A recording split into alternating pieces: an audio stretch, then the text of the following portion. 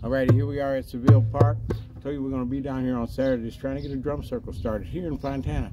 You don't have to, well, you could have to go out to the Leimert Park or to Griffith Park. Those are great to go to a Redondo Beach.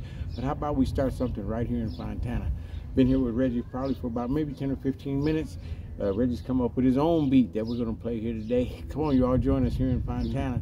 Today it's just me and him, but next week it could be me, him, and you. Let's go, man. Get it.